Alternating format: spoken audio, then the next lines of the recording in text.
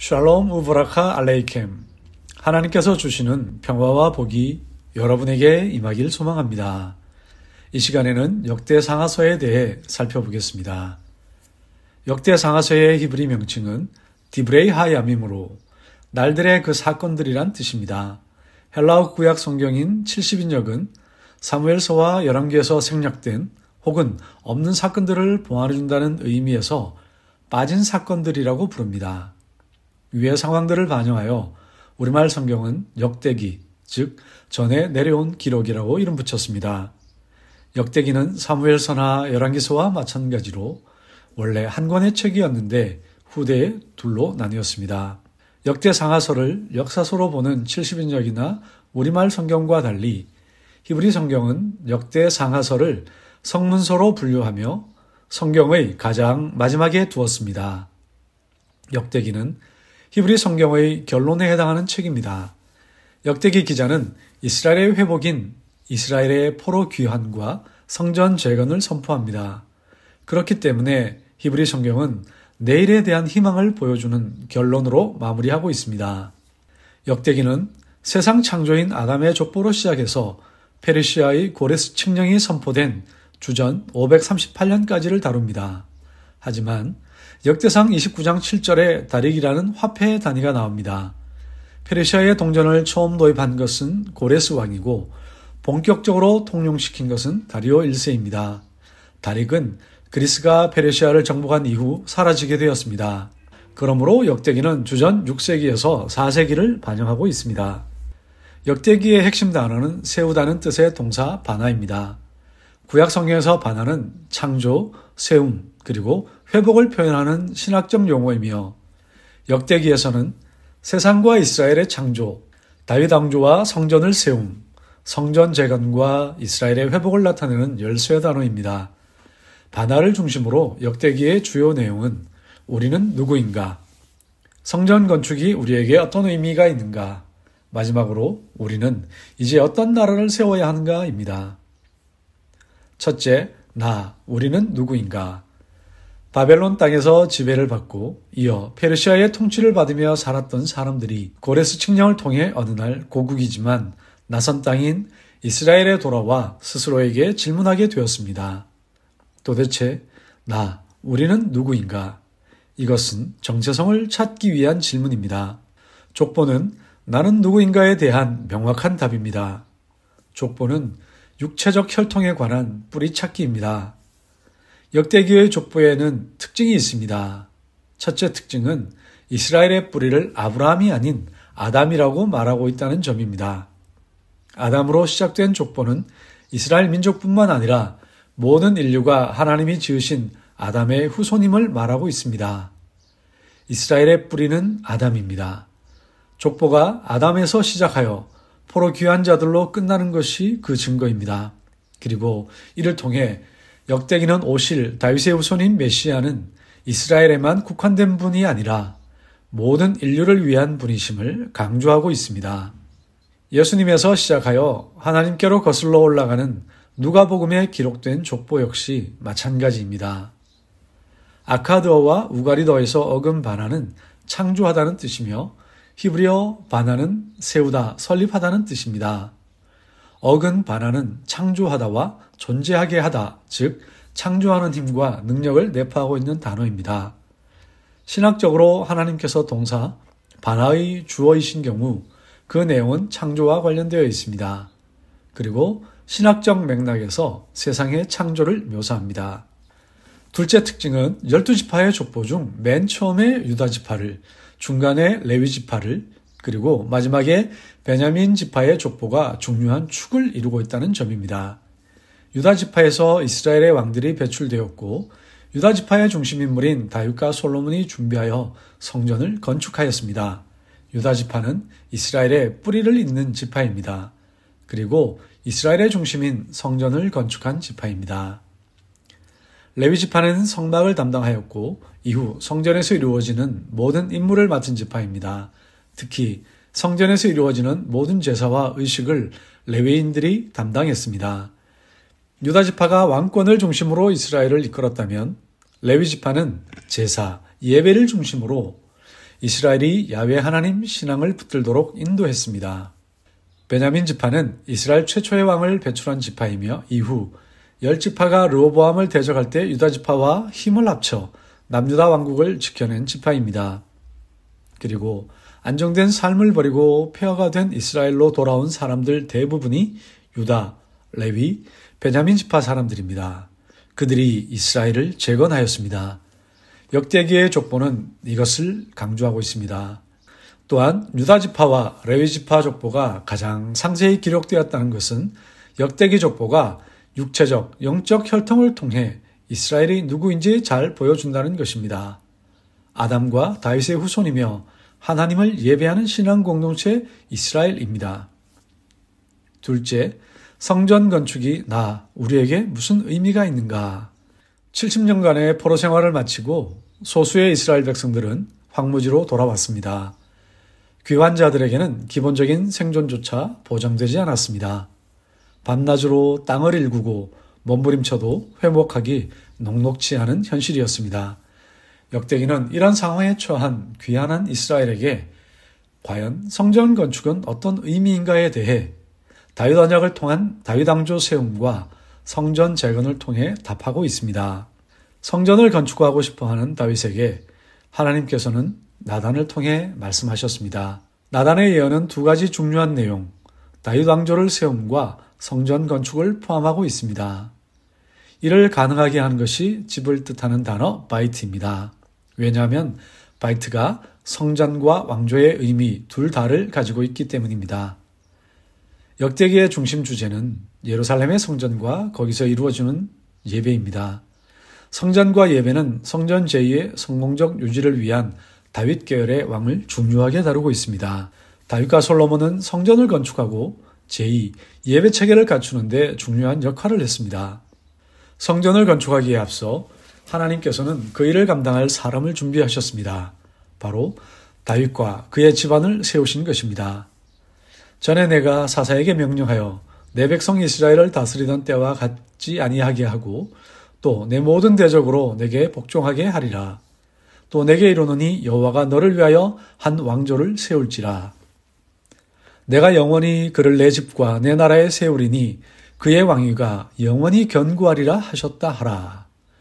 ולמימים אשר צויתי שפטים על עמי ישראל והכנעתי את כל אויביך ואגד לך ובית יבנה לך אדוני והעמדתיהו בביתי ובמלכותי עד העולם וכסאו יהיה נכון עד עולם 집을 세우다는 관용구에서 동사 בנה는 다윗 언약에 근거한 다윗 왕조에 대한 하나님의 약속을 보여줍니다. 비유적 의미로 반하는 가족, 백성, 왕조 혹은 개인의 세움을 나타냅니다. 역대기에서 어근, 쿤과 아마드는 동사 반하의 동의어로 쓰이고 있습니다. 다윗이 성전을 짓는 것은 하나님에 의해 거절되었습니다. 대신 다윗의 후손이 하나님의 집을 짓도록 약속을 받았습니다. 하나님의 특별한 약속에 따라 다윗은 솔로몬에게 성전 건축을 명령하였고 솔로몬이 성전을 건축하였습니다. 역대상 28장 10절에 따르면 성전 건축은 하나님의 선택과 하나님의 약속에 의한 것입니다. 그런즉 이제 너는 삼갈지어다 여호와께서 너를 택하여 성전의 건물을 건축하게 하셨으니 힘써 행할지니라 하니라. 동사 반환은 구약에 총 375회 쓰였는데 그중 약 54%가 이스라엘 성전 건축 그리고 성전 재건 관련 법문들에 집중되어 있습니다. 동사 반환은 일반적인 건물을 건축할 때와 성소, 성전 건축을 표현하는 전문 용어입니다. 야외는 자신의 성소를 세우시고 영원토록 지키시는 분이십니다. 성전은 구약에서 너무도 중요한 신학적 주제입니다. 이것은 솔로몬의 성전 건축과 포로 이후 제2성전 건축 기사에 잘 나타나 있습니다. 성전은 고대 근동 전체와 고대 이스라엘 내에서 모든 제2기관 중 가장 눈에 띄고 중요한 요소였습니다. 성전은 이스라엘 민족의 삶 전반, 특히 종교적, 제의적 중심 역할을 했습니다. 성경에서 성전을 가리키는 가장 일반적인 용어는 수메르어로 큰 집을 가리키는 에갈에서 파생한 헤칼입니다.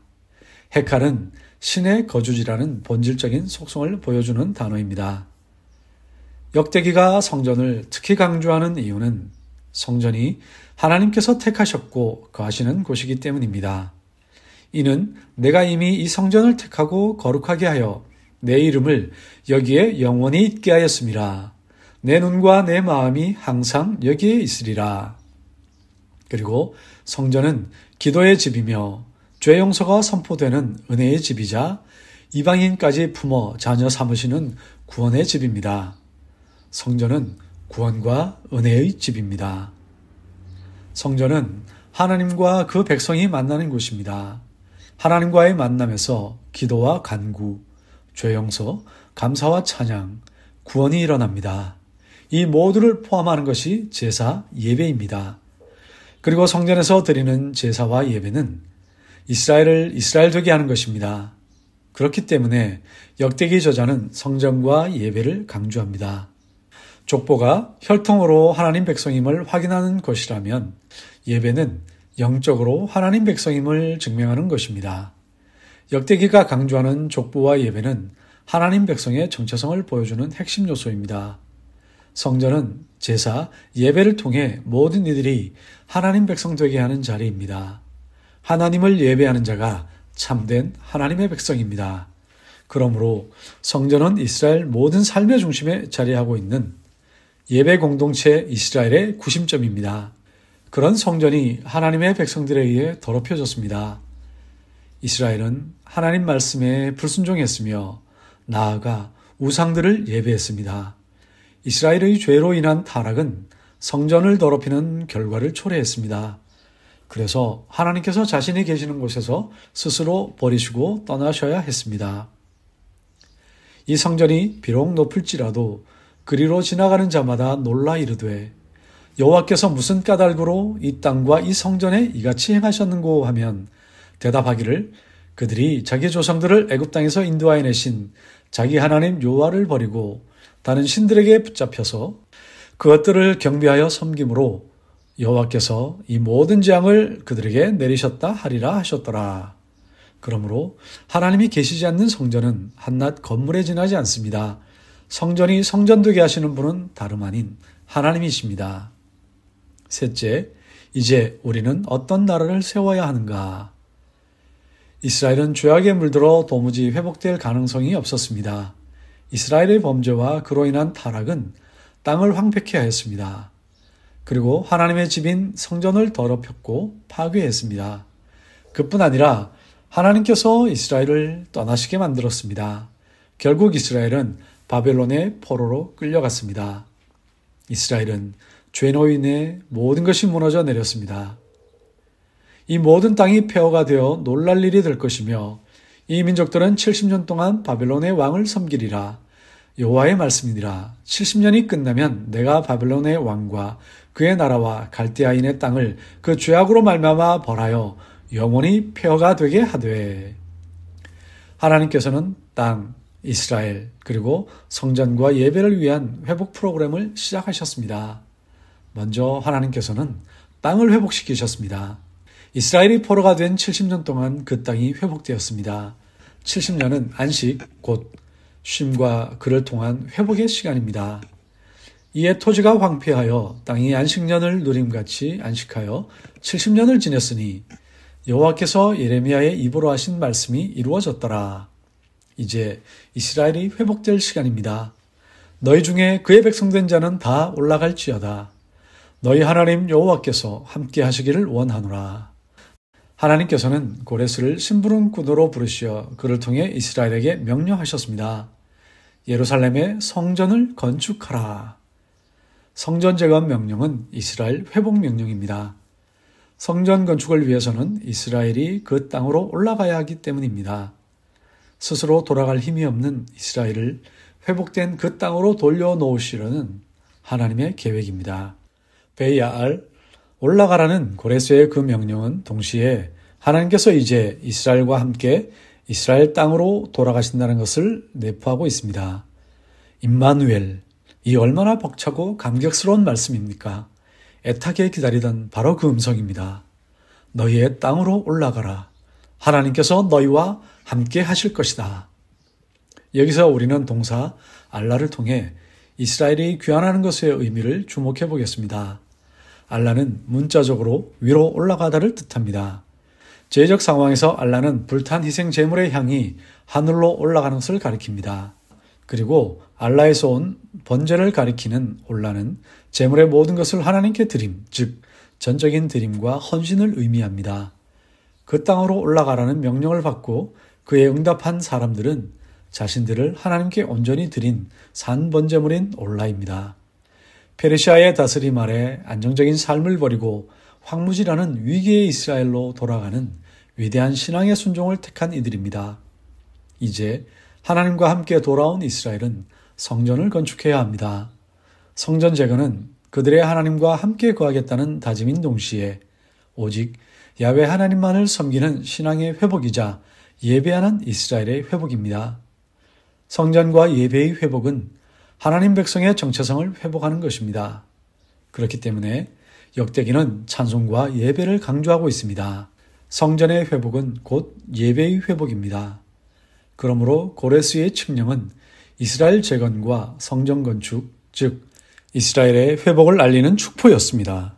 하나님께서 선포하신 고레스의 명령은 회복 명령입니다.